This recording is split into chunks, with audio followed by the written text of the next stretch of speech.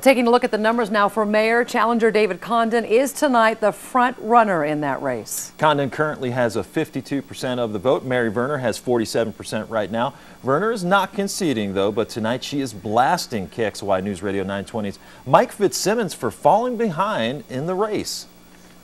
I do know that on your radio show, you've helped perpetuate a lot of misinformation. So I've been up against a series of unfolding events and a and uh, a very negative misinformation campaign, and I still have a lot of support in this community. So I'm really looking forward to the rest of the ballots coming in. Meantime, David Condon is celebrating a monster comeback that could make him the next mayor of Spokane. And remember, Spokane has not reelected a mayor since 19 in the 1970s. It's been a long time. It has been a long time. Well, in the race for Spokane City Council president, right now Ben Stuckart is in the lead with 53% of the vote. And former Mayor Dennis Hession has 46%. KXLY's Kalae Chock live at Spokane City Hall with reaction from those candidates and more on the hotly contested mayor's race. Kalae?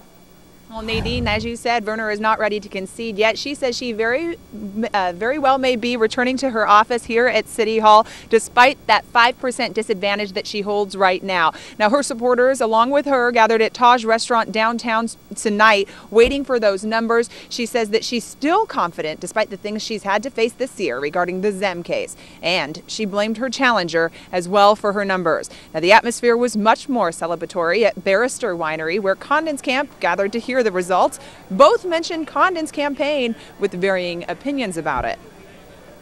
There issues that just arose um, that no candidate would have asked for in, a, in, an election year. And then also my opponent ran a relentlessly negative campaign um, for several months. It's better to be uh, on this side of the of the numbers, and I mean I would agree. it, it is still very close, uh, but I feel confident that we'll continue. Like I said, we had a very strong campaign at the end, uh, so I feel confident that we'll continue to, to gain. Spokane County Auditor Vicki Dalton says the closest race she has ever seen turn had a 5% difference, which goes to show why the mayor isn't conceding just yet.